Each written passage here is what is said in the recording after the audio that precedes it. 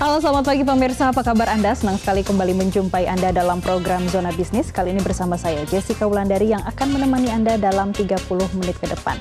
Pemirsa selain dua berita utama tadi, kami juga akan menghadirkan sejumlah informasi menarik dari dunia ekonomi dan bisnis dan langsung saja inilah Zona Bisnis selengkapnya.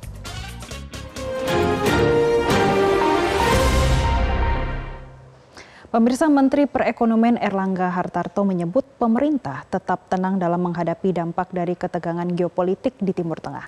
Ia menyebut sejauh ini tak perlu ada yang dikhawatirkan Erlangga menyebut beberapa negara barat tidak mau terlibat akan konflik yang terjadi di Timur Tengah, serta menahan diri dan mengendalikan eskalasi.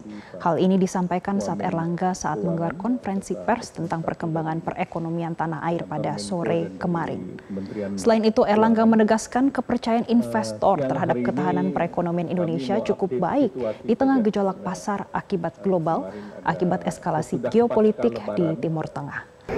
Erlangga mengungkap sasaran pertumbuhan ekonomi masih ditetapkan di kisaran 5 persen pada 2024, jauh lebih tinggi dari pertumbuhan ekonomi global yang diperkirakan tumbuh 3,2 persen.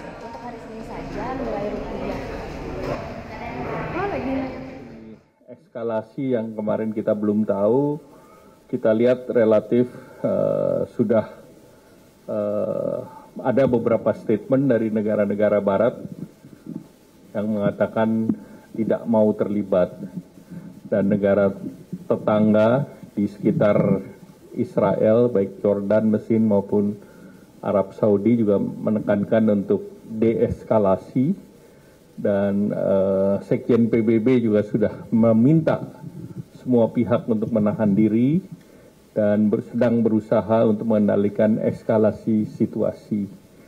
Nah, sebelumnya uh, Iran juga menyatakan masih menunggu uh, statement dari uh, eh, PBB. Di uh, para pemimpin relatif statementnya sama, hindari eskalasi dan juga potensi-potensi uh, disrupsi yang kita lihat uh, tentu yang terkait dengan uh, logistik, supply chain, dan juga kepentingan di Selat Hormuz. Kita tahu Selat percayaan investor terhadap ketahanan ekonomi Indonesia baik.